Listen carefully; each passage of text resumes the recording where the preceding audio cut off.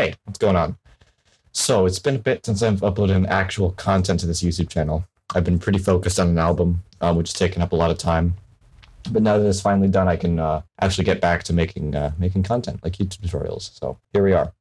I've been doing some sound design experiments lately, usually in, involving specific tools, but sometimes I've been revolving those experiments around some more generalized techniques.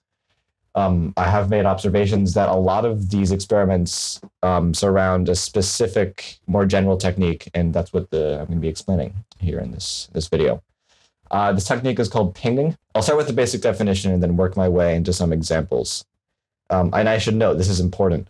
I'm actively making a point here to not give any applications of pinging, just because, as with most of the things I like to talk about on this channel, most of the fun comes from taking the the basic concept and then iterating upon it in your own in your own way. Right? You know, just it's more gratifying. So, what exactly is this pinging technique? Well, that's a very, very, very good question. Um, pinging, in the most in the simplest possible terms, is the act of sending some impulse into something to generate a more complex sound. This definition by design is very broad, so hopefully the following examples will uh, maybe help to justify it. So first, I just want to focus on the impulse that I mentioned. For almost all these examples, I'm going to be using a simple click from operator, um, which sounds like this.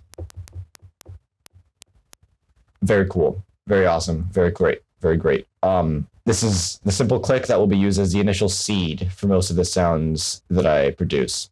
So the next thing I want to show is the simplest possible example of pinging that I can think of. That would be pinging a delay. So here, I'm sending this impulse signal into a delay. The sound is extremely boring.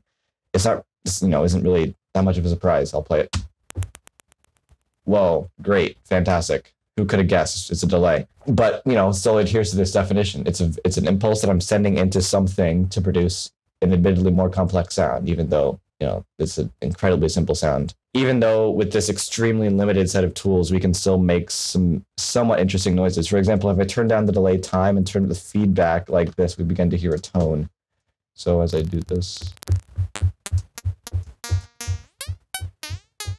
like this, you can get some uh, tonal sounds there. And as we mess more with settings within delay, we can produce an unexpectedly wide array of, uh, of timbres. So if I do like, so with the filter,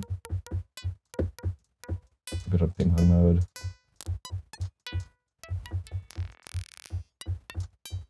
But there you go. There's a uh, there's with the delay.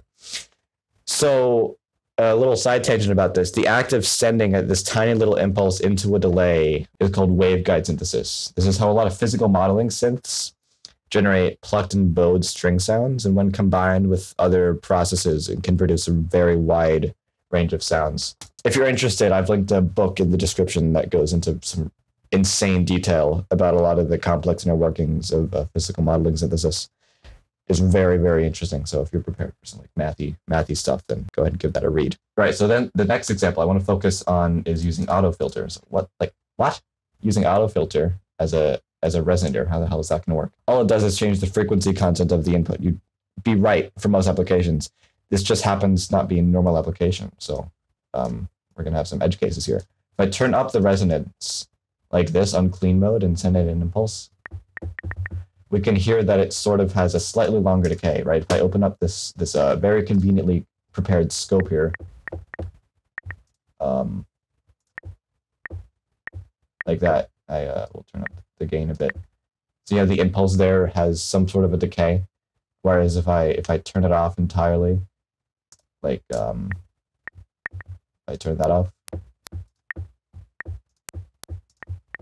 You get you get that decay. Now you can amplify this effect by um, turning the filter to any of these analog model modes. And these, uh, I'll just do the example first. Whoa, would you look at that? You can get it to, to self oscillate.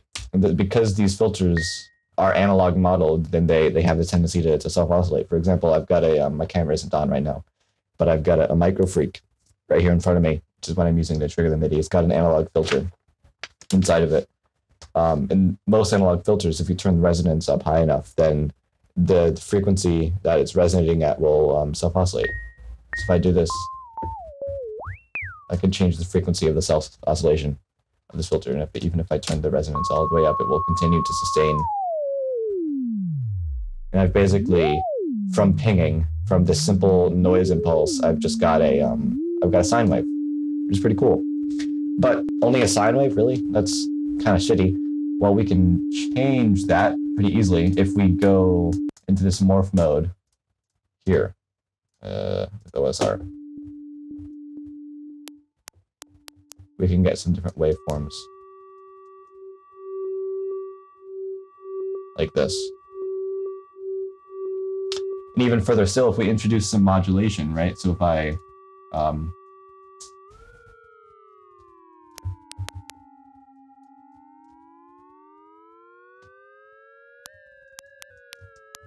This is kind of a disgusting sound, but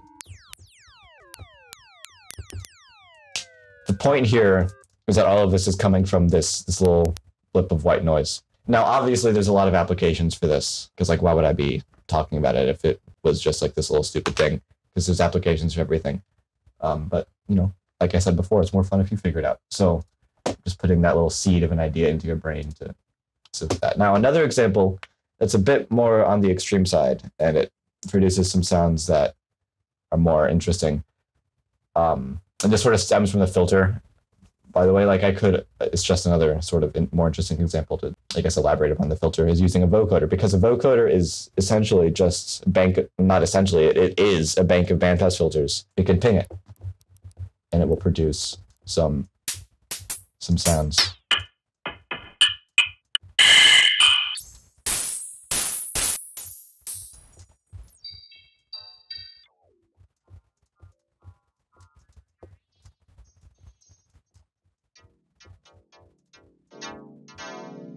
You know, some of those sounds definitely aren't the most pleasant. But there you go. Because you have uh, these 36 resonant bandpass filters, instead of just getting one uh, self-oscillating sine, you're getting 36 because you have 36 bandpass filters. So there you go. Now, most of the fun occurs when you stack multiple effects together, right? Like using just a single vocoder, a single auto filter, a single delay is very, very boring. And unless you are going for that sort of sound, it's like there's not much you can do there that you can't do with a more complex synth. So um, I'm going to now show some examples of um, sounds that I made using only auto filter and delay. So, and I, of course I'm using instrument rack as well, but I mean audio effect rack, but whatever. It doesn't matter. So here's, I'll just go through these examples and then talk about them afterwards.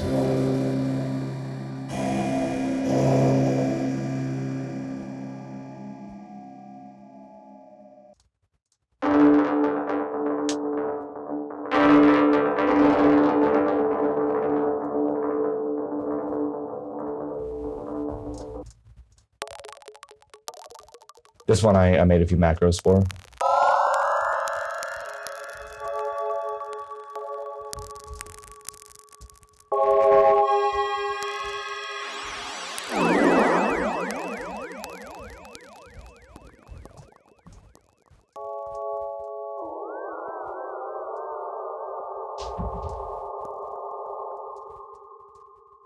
Pretty cool sounds there. Gross bass. And this, oh, this is a random like thing generator. So if I if I randomize these parameters,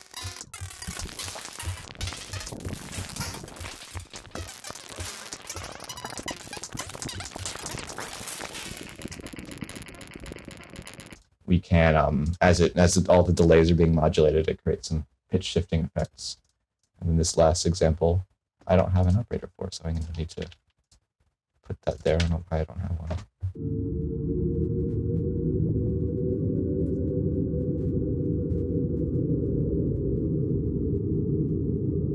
So we've got some pretty pretty sweet ambience. If I unsell all these.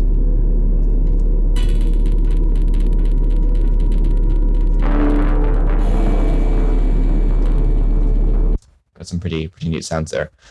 Um, yeah, so some of them were very weird, but it's just more of a demonstration that um, the stuff that I was talking about is not dumb, right? You, you can you, you can produce a very large variety of noises from just a blip of a blip of noise um, a simple simple delay, and the self oscillating filter. So there's got to be a lot more than this, right? Well, fucking obviously, right? Otherwise, a video wouldn't exist. I normally don't just ping filters and delays. I ping all sorts of things. I, I would ping reverbs, resonators, flangers, phasers, granular delays, multiband compressors, filter banks, really anything that that um that works. The only really necessary property of a pingable thing is that it needs to be able to change how sounds are arranged within time.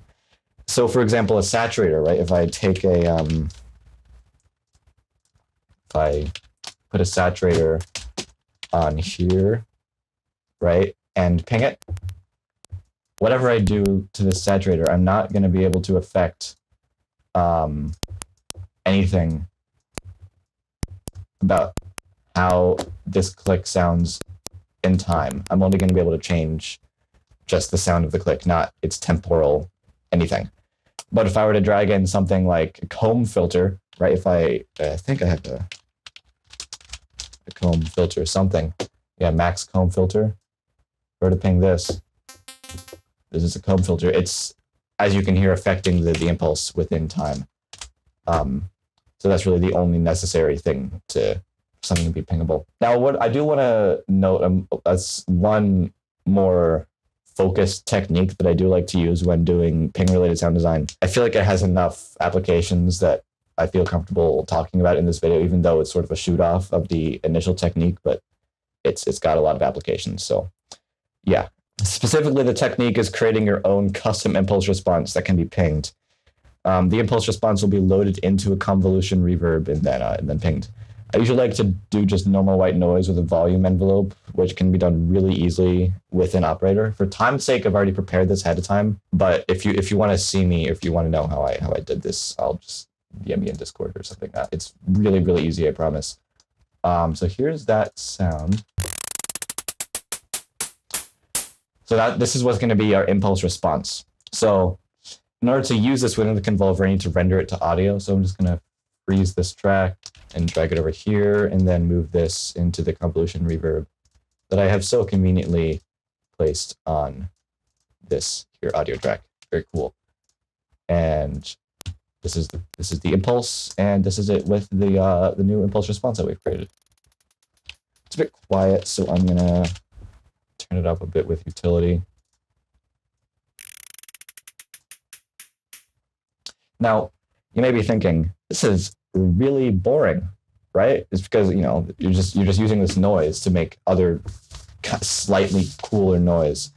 So it may have already occurred to you, but literally any sound can be used as an impulse obviously. So if I take a drum loop, right, let's say, um, let's do the classic, oh, no, you know, let, let's not do an Amen break. I use almond, almond, you know, I used to call, I used to think it was called the almond break. like the, like the, um, the nut, no, the almond break. I'm going to do the think break this time, I think. Yeah. Yeah. Okay. Um, and then on this, I'll just drag the, just drag on the hybrid reverb on. Go ahead, good buddy.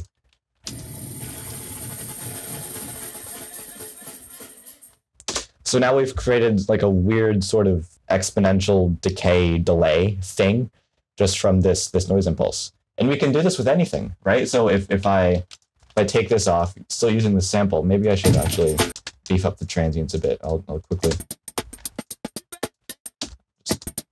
quickly do that. Um, we can use anything. So if I take this, this audio effect from before and put it on here,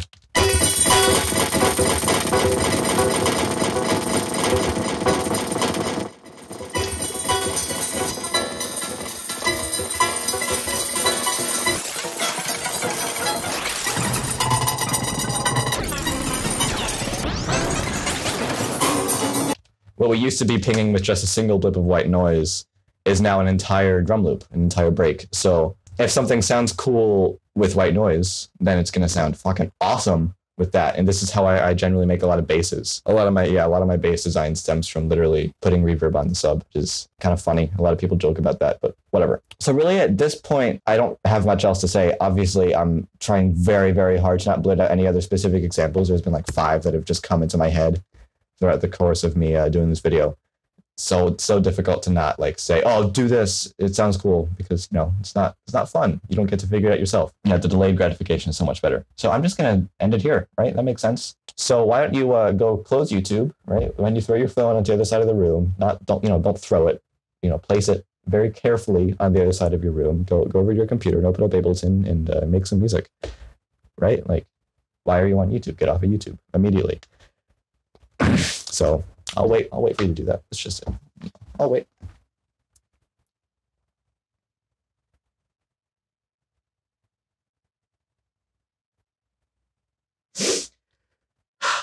All right. Well, if you're still here, fuck you, first of all, for not listening to me.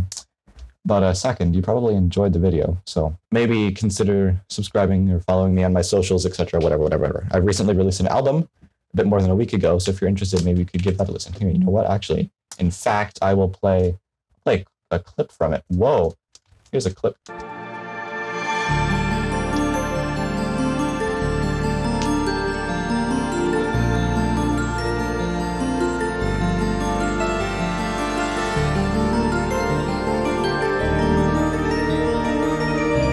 All right, no more. Um, so hopefully that's encouraged you to maybe listen to my, my music because I like it. I think you will too.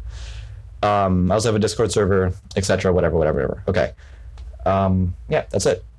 Uh, also, the outro song for this video I, I made last night using a lot of the techniques I've I talked about in the video. So yeah, well, thank you for watching. See you later.